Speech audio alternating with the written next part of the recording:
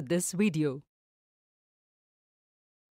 In the previous video, we learnt about arithmetic progression and its components.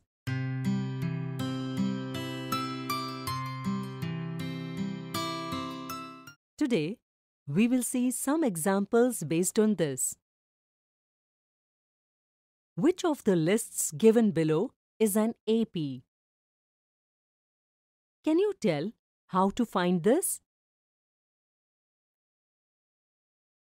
We learned in the previous video that in an AP, except for the first term, each term is found by adding a certain number, that is, the common difference d to its previous term.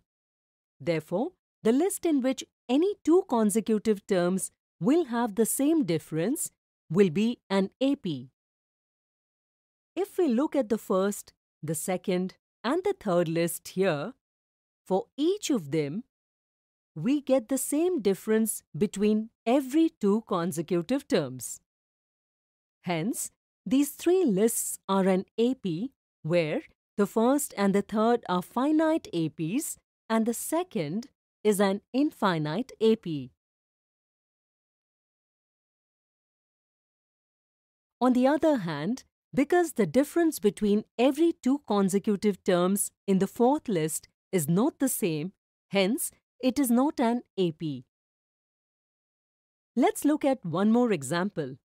Rahul walks 3 kilometers on Monday and increases the distance covered in this way till Friday by 2 kilometers every day. Can you write a list for the distance travelled by Rahul every day? As per the question, Rahul travels a distance of 3 kilometers on Monday. Because he increases the distance travelled by 2 kilometers every day. The distance travelled by Rahul on Tuesday would be 3 plus 2 is equal to 5 kilometers.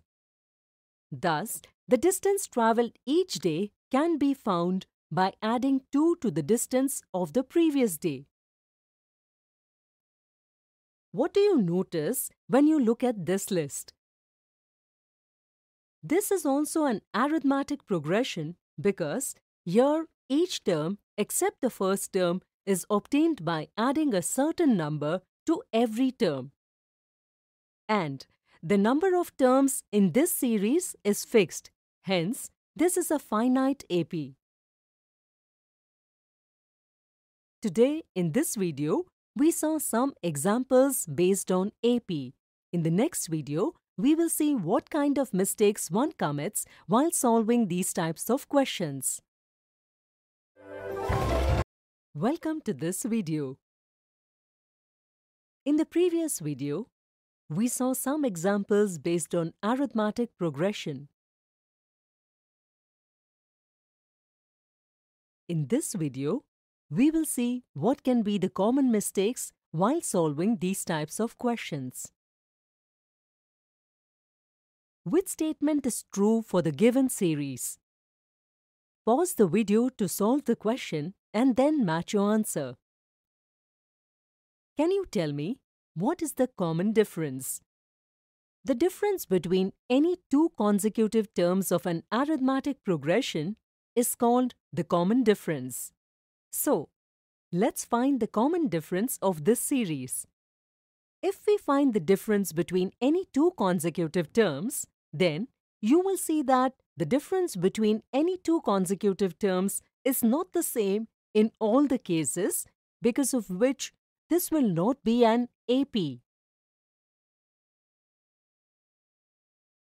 Hence, option 3 is the correct answer.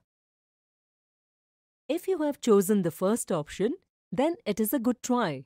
But it's the wrong answer because for the given series, you have found the common difference for the first three consecutive terms and chosen option 1 as the correct answer, which is not correct. If you have chosen the second option, then it's a good try. But this is also an incorrect answer. Can you tell what was the mistake committed while solving this question which led us to choose the wrong option? For the given series, the common difference for only the first three consecutive terms was found. There too, instead of subtracting the previous term from a given term, we subtracted the next term from the previous term, which gives the common difference as 3 and that is a wrong answer. Let's see one more example. The depth of a river is 3 feet up to the first kilometer and then with every kilometer its depth increases by 10%. Will the obtained series be an arithmetic progression or not? Pause the video to solve the question and then match your answer. Let us first write a list for the given situation. According to the question, the depth of the river increases by 10% with every kilometer. That is, to get each term except the first term, 10% of the previous term must be found and added to the same. This is how we get a list. Is this an arithmetic progression, that is an AP? To check this, we will have to discuss the common difference of this series.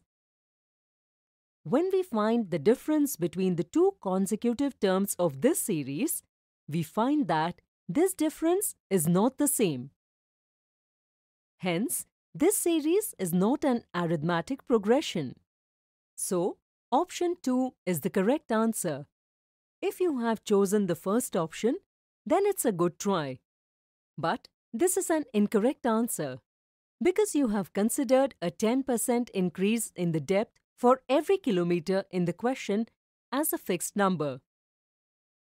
You remember that the series you get by adding a certain number to each term except the first term is an arithmetic series, due to which you considered 10% as a fixed number and the series obtained according to the situation given in the question as an arithmetic series. And your answer went wrong. Teachers can check the understanding of the students in the class with the help of some such examples.